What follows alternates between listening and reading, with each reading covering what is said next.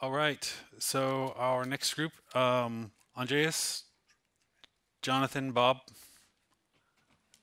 All right. So take those three up there.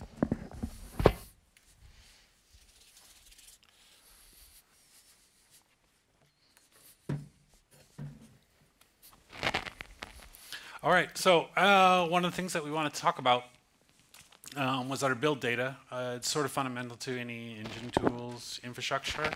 Um, and, you know, looking at, um, you know, scaling up games and AAA games, right? I mean, this is a this is a big problem. I get more and more data and more and more stuff to build and deal with. So how do we de deal with it for ourselves? I thought might be an interesting question. So let me introduce each person. Um, um, Jonathan Adamczewski uh, is a good senior engine programmer on, sorry? I said good morning. is a senior engine programmer on the Syndicate team. Um, Bob Sprentall is an engine programmer on now the rendering team, um, but did a lot of the initial work on our build system and builders and uh, um, architecture around that area while he was on the Syndicate team, or what was previous previous team to that. Um, and you've already met uh, Andreas, uh, lead of the Syndicate team.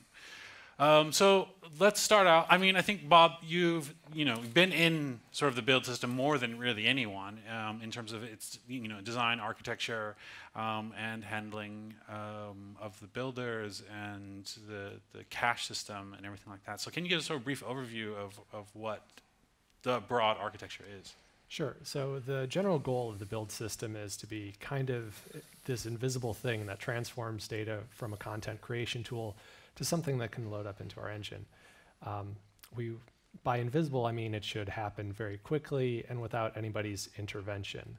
Um, so the way it's set up, we have builders to transform our different asset types. So we have things like you know textures, models, zones, um, and so our every every um, asset type has its own custom builder. Yep. Yeah. it- And um, for each asset, we invoke the builder once. Um, the reason is As that- opposed to as opposed to like you know we're going to build this zone. Let's invoke this one executable once, and it's going to go through all the different things, all the textures, all the models, whatever. Or we're going to keep something running all the time that we're going to push. Here's a new asset. Here's a new asset. Um, the reason is because we just want it to be easy to reproduce bugs, essentially. Um, if you have something that's always running or is running on a huge set of data, then it's very hard to get back to the point where this specific bug happened. And you know, I'd like to say that, oh yeah, the builders are reliable, but stuff happens. right. So you can kind of think of it as sort of a compiler model, right? Yeah. You get some, you know, you just you're just building this one input and spitting out some output, right? For Right, exactly. Um, the job of the build system is really to figure out when to invoke the different builders. Um, when a builder runs, it reports some dependency information. It says, uh, these are the files that I took as input.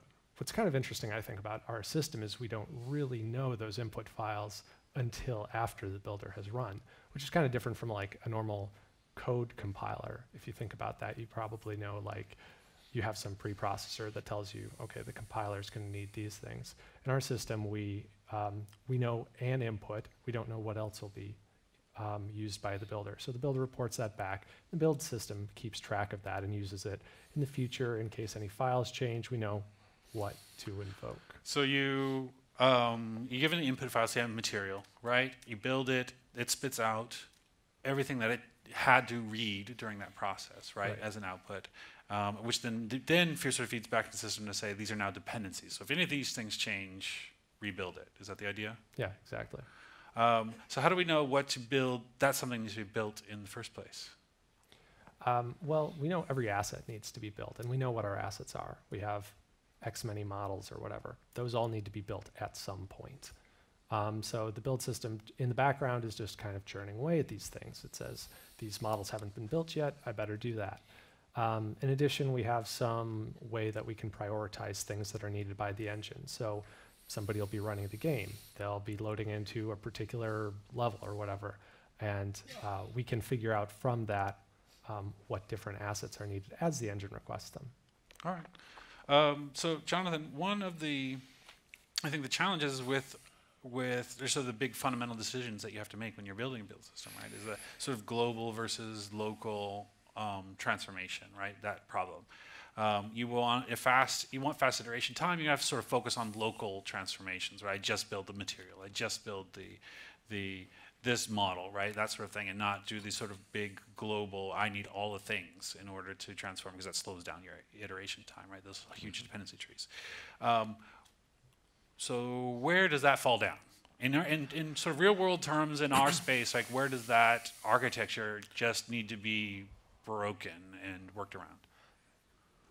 It, I, I think it falls down um, in, I, I guess, the same way you were talking about uh, uh, design priorities earlier, where you have too little con context to reason about what it is you're producing to, to um, give something that's actually useful or solves the problem that it needs to later on. And so we, we do build textures individually, we do build our materials, our shaders individually, um, but we have a sort of container unit of placed game assets and other things, the, the zone files, are the, the, the, point at which, in reality, you need a lot of everything to be brought in, to be examined, and to, to, to be able to reason about it. Now, in uh, ideal terms, you could say, well, here is a thing that just lists a bunch of references to other asset types, and we know that when the game loads, it can load this, it can load them, and it'll have everything it needs, and so we, we don't need to load them all at once when we're building the zone.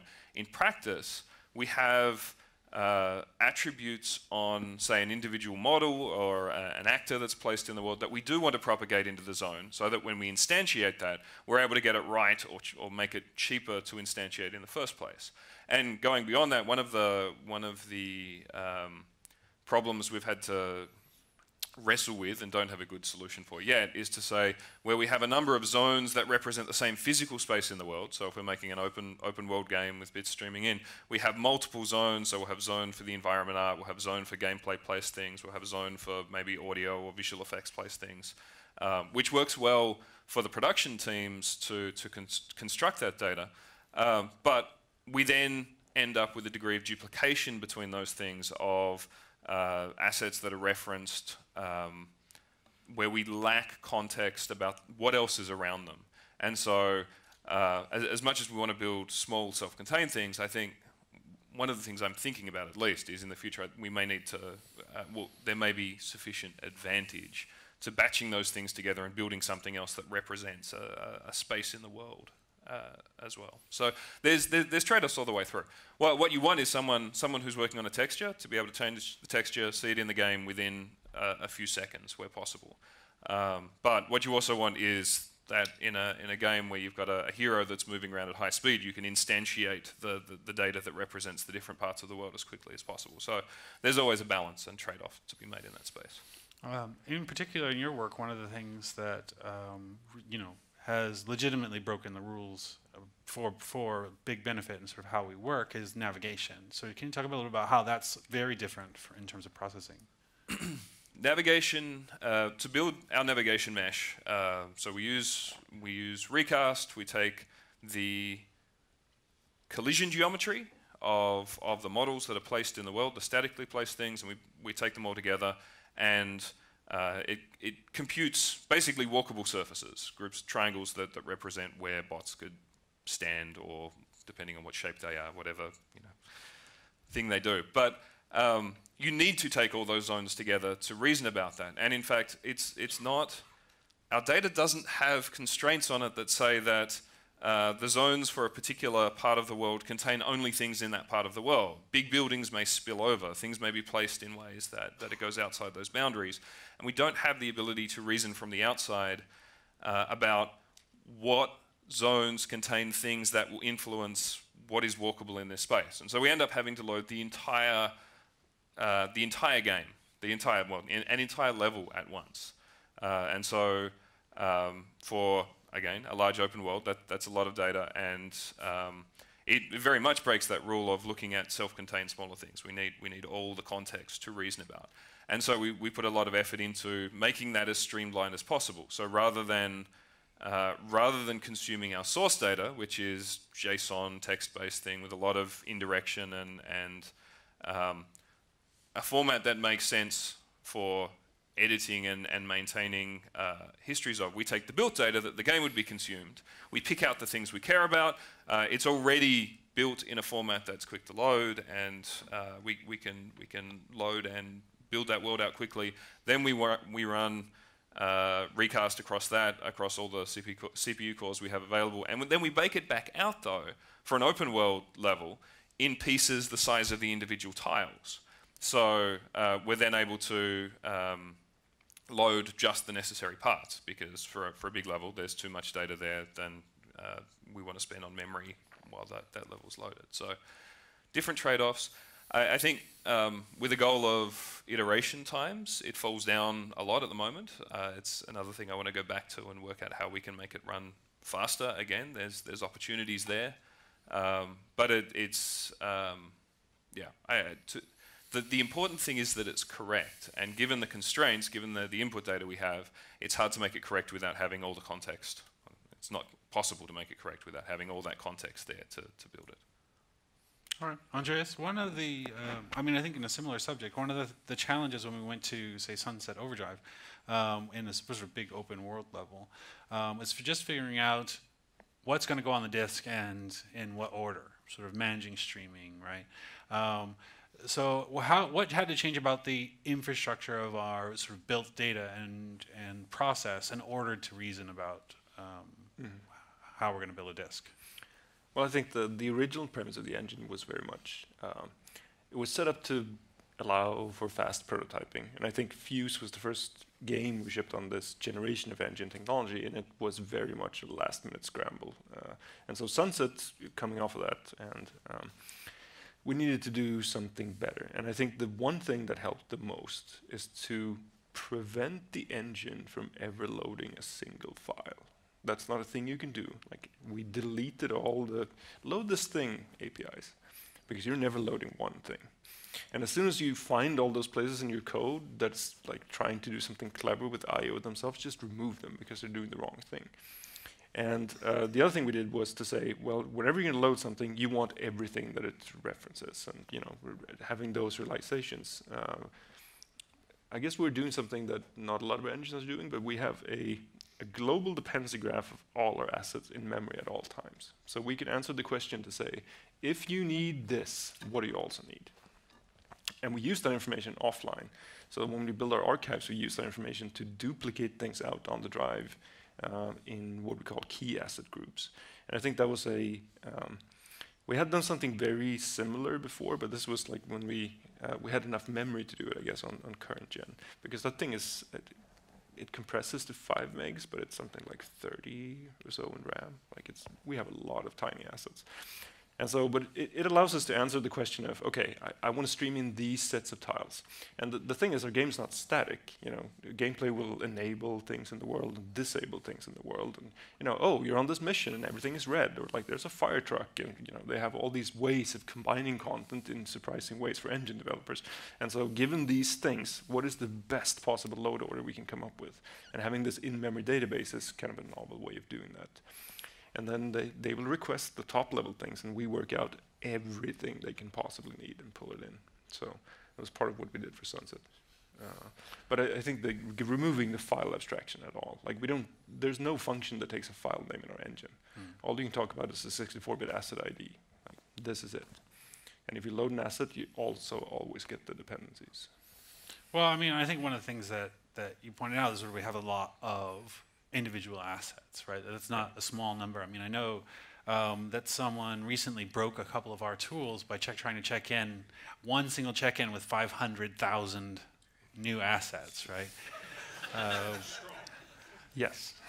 So, you know, we're dealing with a, quite a large number of, of practical assets that, that, that are being created here. Um, so yeah, we hit every limit, sort of file system limits, file length, you know, name limits, all these limits, right? Hash conflicts. Yeah, hash yeah. conflicts come up all the time. Um, so every limit, if there is one, you're going to hit it. So I think to take those things seriously when you're creating your systems, right? To understand that you will absolutely hit those limits and how you're going to manage it. Yeah, and I think that, I mean, to, to follow up on what I just said, I think it is very unique for the games we're building. Like, we were careful because we're also making level-based games. You know, if you play Edge of Nowhere, it's a traditional level-loading game. So we couldn't throw those out. Right? But I think the solution we have is very appropriate to our company in the way you know we manage our data and how we you know. So I wouldn't be afraid to do that because I mean, would you agree that doing that sort of a system that fits the way we organize our data and build our games, rather than trying to use some off-the-shelf thing and shoehorn or, for example, on on uh, on platform we don't use FiOS at all. There's no need because we outperform FiOS, and that's we do that because we have that information. All right, so I want to um, forward a question um, that any of you could, could jump in on. Uh, how much does global opt, opt, how much does the global optimization um, bakes figure into the the asset pipeline? Um, so I think this sort of this the heart of this question is sort of what we're talking about, sort of these these global understanding the global data problem, um, and um, is there anything else? Is there any other place where you know it either is inhibiting us or we need to do something special? Um, Yeah, well, I think that's been a challenge for us. Um, I mean, Jonathan talked about the way we build nav, and that's kind of this separate thing from the way that almost everything else works. Um, I'm kind of guilty of that too because I recently introduced some lighting feature that is also a global bake because, hey, it was a lot easier to do that than try to shoehorn it into the way the, r- the rest of our build system works. Um, I mean, it's a trade-off between I need some global thing because that's more optimal, and I need little teeny pieces because that's a lot faster to build. So that's always something that we discuss when we're talking about creating some new data type, and it's we've thought about how can we set up a system where it would work to say build nav just on the fly in the background all the time. And it, it's a difficult challenge. We haven't really gotten to the point where i think we need that right now. But um, that's why we have a, a different setup for certain things like nav because that's what works best for those. For many other things we've been able to keep small little chunks um, because that performs well enough for our games. And if I can add as well, I think one one of the other trade-offs here is obviously that, that it provides sufficient value that it's worthwhile doing as a separate, different type of step. The, the quality of our lighting, I think, is it's infeasible to do at runtime. Like you, we couldn't be building that data as the game is running. It's a fair, fair statement, right? Yep. Um, so we do it as an offline step, so we can get that level of quality, so we can achieve that that that standard. And the same the same thing goes for the the navigation mesh. It's more expensive than the price we want to pay at runtime. Um, it's sufficiently valuable that we do it as a separate external step. And we certainly, um, like, we, we weigh up those choices as we go as well to say, like, it, could we come up with something good enough at runtime? Could we come up with something that, that, that is sufficient to solve the problem? And there, there's often a lot of, well, say, hand wringing on some of that stuff because we don't want to. I would say for the nav, nav stuff, if the separate nav builder didn't exist, I would be much happier. Um, it's one less separate thing that, that it, it has its own special path and, and special requirements that wouldn't need to run. It would then be in the engine being exercised every day by everyone who's running that. So there, there's distinct advantages to having it as part of the runtime side of things. But uh, in this case, we and, and with lighting, we've made the, the, the judgment for that for the games we're making, for what we want to provide as an engine team to the, their gameplay team and or to the production team. Um, that that's that's how we're going to go about approaching these problems. I think a follow-up question was: Do you stand up lossy work workalikes alongside consumers of the final bake just for iteration? I mean, I think our general approach has been accept old data, right? You know, for long-running processes like navigation or lighting, we just continue along with the old data until the new data is is ready and use that as much as possible. So, but do we have any cases where we are doing sort of a lossy version as as the more expensive thing is baking?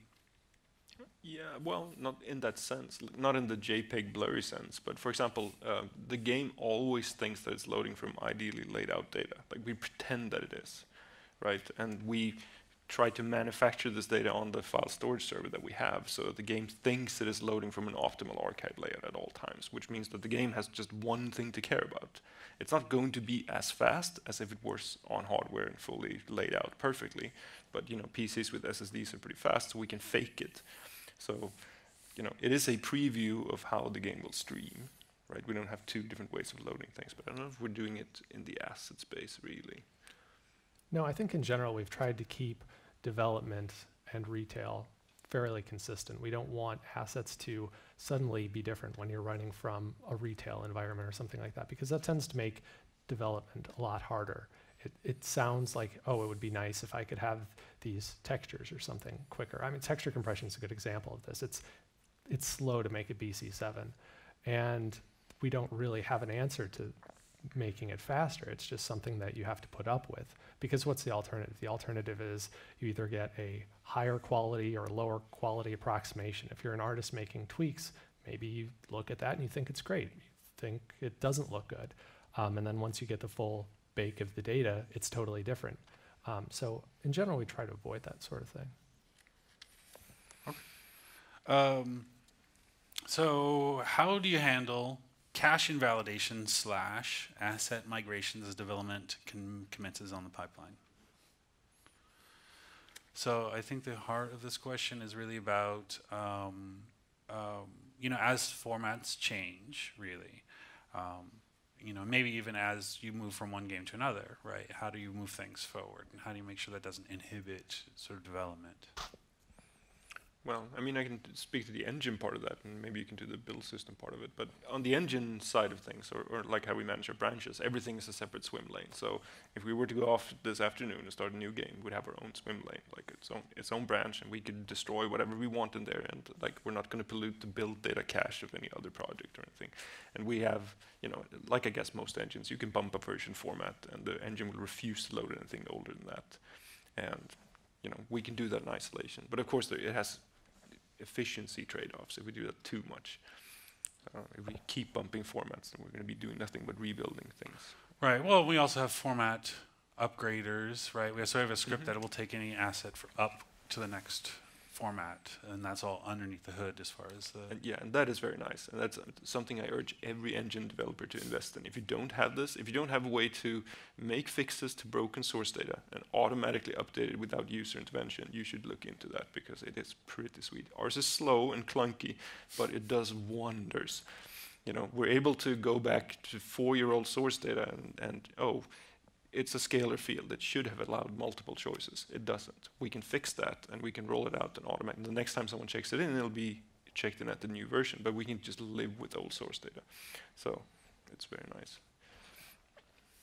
Yeah, in terms of the built data, um, so what Andreas was talking about was for source data. We don't do that sort of upgrade script with the built data. We just completely throw it out, and that's part of the build system's job is to keep track of what are the versions of built data you have, and if they don't match what the engine is expecting, then toss them out, build new ones.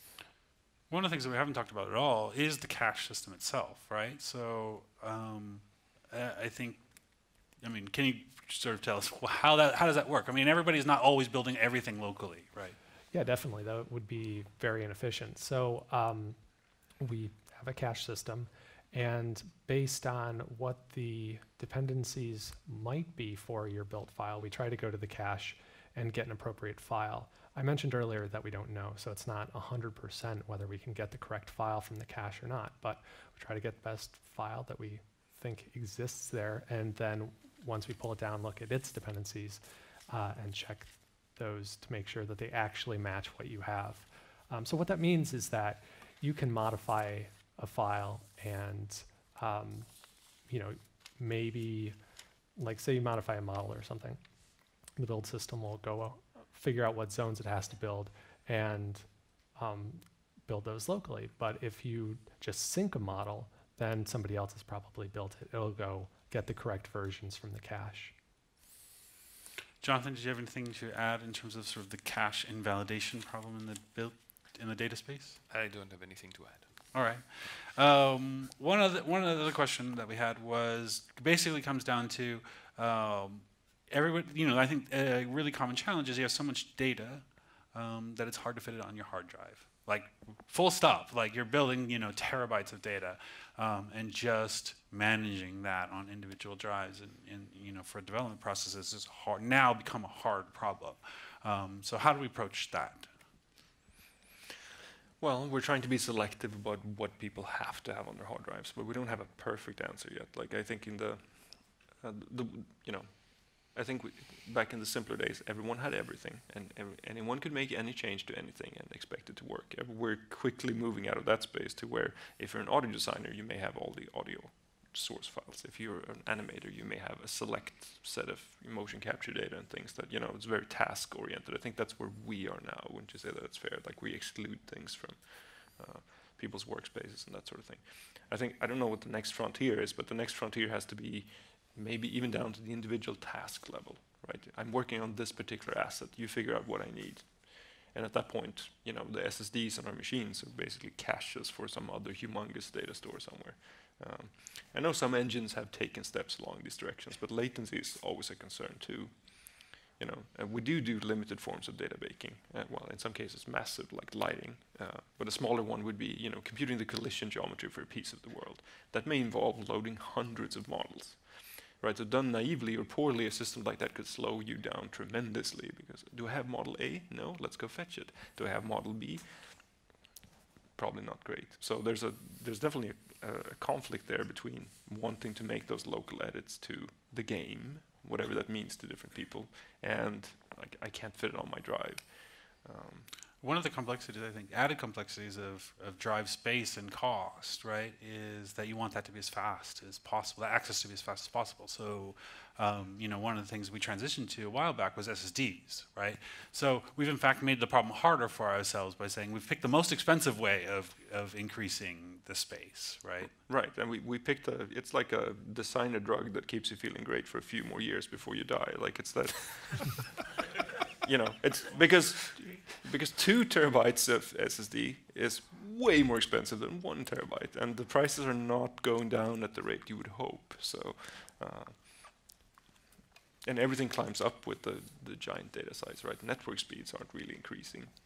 So just syncing all that data. Right. Okay, so Gigi, I want to give each of you a chance to add one last word in terms of how we manage our build data. So, Jonathan, start with you. One last word. I think uh, I, I think we have a system that is working well and scaling well, and like like we said, the, the multiple swim lanes, the the, the even even uh, if you bump an asset version locally, uh, you can populate the cache. It won't um, the the built data cache. It won't invalidate anyone else's data, and it means that you can check that code change in that, that bumps the version, and the data can come down to other people who then get that code, build that code, and, and need that version. So we have, um, I, I, think, um, we have something that is running reliably and uh, predictably, and I do think that the, the challenges for us are, are, are, definitely on the, the scaling side. That, as you say, um, bigger hard drives are expensive, network speeds aren't going down. Just the time it takes to process tens or hundreds of thousands of files is uh, not expected to improve at, at, an order of magnitude scale there. So there's there's some interesting challenges in the space that that, that I, I I think I look forward to us taking on. so Bob? that's my final thought. Bob? Um, one of the things I appreciate about our setup is that it keeps things very isolated. I mean, as programmers, we're working on the builders quite often, making changes, and it, it's set up in a way that that will never break production. Um, it, you know, we, you can say, oh, just bump a version whenever you make a change, but inevitably somebody will forget. Um, similarly, you could check in an asset that is just completely wrong, and that doesn't break production, um, unless, of course, you're working on a production branch. But uh, for the most part, it's set up so that even if you do that, you can roll back, and if everybody had just sank that asset that's broken, they'll they sync the newer fixed version very quickly. They're back to working, and so keeping production going and not getting in their way is very important for our setup. Yeah, thanks. And the, the benefits of having one thing to maintain, like one set of rules, you know, one set of loading pipelines, one set of data transfer pipelines, one set of builder pipelines, not having umpteen different systems. Like, oh, here's the one I'm using when I'm quickly iterating. Here's the one I'm data baking with, and here's the one that I'm like it, it goes nowhere quick. Uh, you're going to pay so much maintenance cost to support something like that. All right, thank you guys.